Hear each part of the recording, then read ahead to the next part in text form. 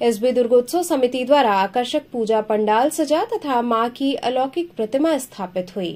नवरात्र पर्व पर नगर में सभी पूजा पंडालों को जहाँ एक और आकर्षक रूप दिया जा रहा है, वहीं नगर के दर्जन भर पूजा पंडालों में विधिवत दर्शन पूजन प्रारंभ हो गया है।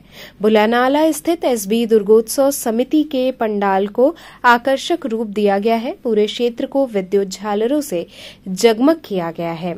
वैष्णो देवी मंदिर की तर्ज पर पंडाल में गुफा बनाई गई है। आयोजक लखन शर्मा और बलदाऊ राणा ने बताया कि भारी भीड़ को देखते हुए पूरे परिसर में सीसीटीवी कैमरे सहित निकास द्वार और प्रवेश द्वार को नियंत्रित करने के हिसाब से बनाया गया है। पुलिस और पंडाल के सदस्य भी अपनी पूरी नज़र रखेंगे।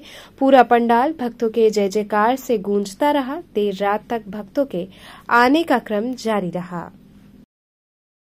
जो लगभग निरंतर 40 साल से हम लोग करते आ रहे हैं और 24 साल से 24 साल से हम लोग माता वैष्णो का गुफा बनाते आए हैं। और जिसमें हम लोगों के संग बड़ा सहयोग रहता है शासन प्रशासन का।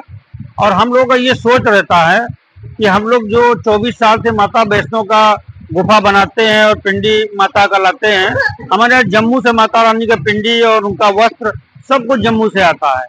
और हम लोग इच्छा ये रहती है कि जो लोग बनारस शहर के अंदर आते हैं, वो लोग कम से कम जो वृद्ध माता पिता हैं जो लोग की दर्शन नहीं कर, करा पाते जम्मू नहीं जा पाते वो लोग कम से कम आकर के हमारे दरबार में माता के दरबार में और हमारे पंडाल में आकर के अपने माता पिता का दर्शन करावे और पुण्य कमावे। हैं क्या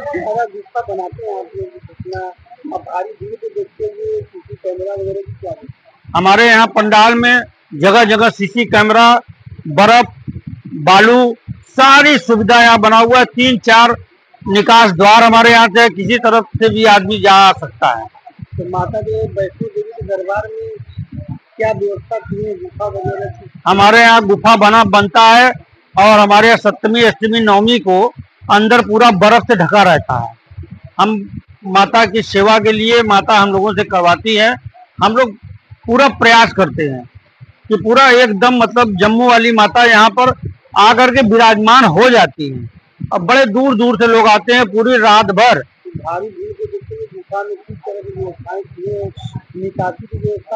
सारी व्यवस्थाएँ हमारे पास है। निकासी का मेरे पास तीन रास्ते हैं जो हम मतलब तीनों से निकाल लेते हैं लोगों को।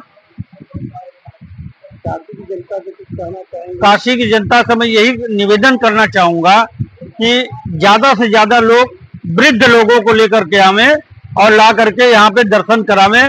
हमारे यहाँ साक्षात वैष्णो माता आकर के विराजमान होती है, महालक्ष्मी, महासरस्वती, महाकाली माता।